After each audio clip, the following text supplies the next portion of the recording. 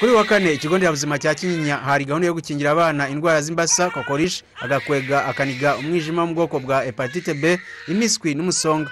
Gusa ngo hari igihe abakingiza babanza gutegereza kuko hari inkingo zidafungurwa. Igihe hari umubare uri munsi y'icumi ku bakingirwa iseru na ribeyol ndetse n'abana makumyabiri ku bakingirwa igituntu. Hari ukuntu ujya gukingiza umwana noneho wowe ukagenda uzi ko ugiye gukingiza wahagera bagakora imibare bagashyira bafata amafishi bamara gufata amafishi bakareba bagasanga abana barenze inkingo ziteguwe. Icyo gihe basanga hari abana barenze inkingo ziteguwe bagafatamwo ba bana icumi wenda bari bukingire ba bandi basigaye bagategereza ko hari abandi bari buze iyo batabonetse murataha. Bakabaha undi munsi wo kuza gukingiza. Mbere yo kubakingira turabigisha tukabasobanurira eh, tugatanga nimero.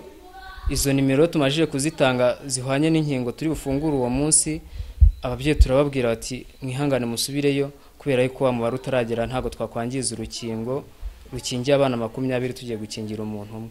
Ababyeyi barabyumvishije barabyemeye. Umukozi mu kigo gishinzwe ubuzima rbc dr. Sibomana hassan avuga ko inkingo nubwo zitangirwa ubuntu ngo zihenda igihugu ku buryo nta mpamvu yo kuzangiza zitari bukoreshwe.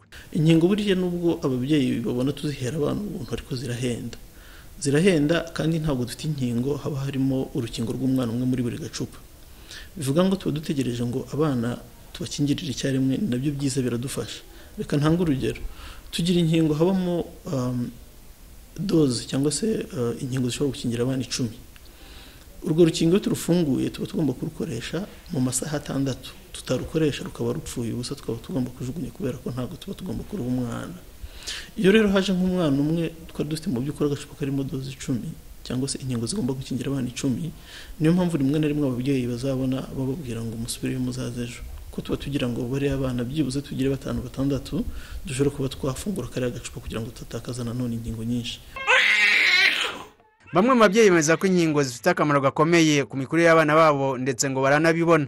Umwana amererwa neza agakura neza za ndwara ntago yigera zirwara ahubwo ingaruka zigaragara iyo umwana atakingijwe ni ho ugenda ubona umwana arwara indwara zidasobanutse kuko biba byoroshye kugira ngo umwana ukiri mutoya yandure vuba vuba mu gihe atakingiwe izo nkingi. Nk'indwara z'iseru zaracitse kandi zari za- zari zarazengereje ababyeyi. Inkingo rero ni ziza ku buryo bwinshi. Hari indwara nyinshi abantu bagenda ba- bacika. Imibare ya minisiteri y'ubuzima igaragaza ko hejuru ya mirongo icyenda na gatanu ku ijana by'abana bakingiwe neza naho gatanu ku ijana basigaye ngo nubwo bakingiwe ariko ntibujuje inkingo zose cyangwa ngo bakingirirwe igihe.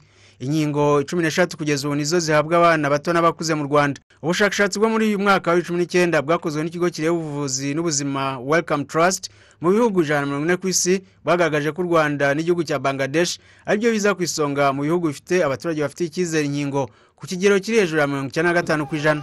Kwizera bosco mu mujyi wa kigali.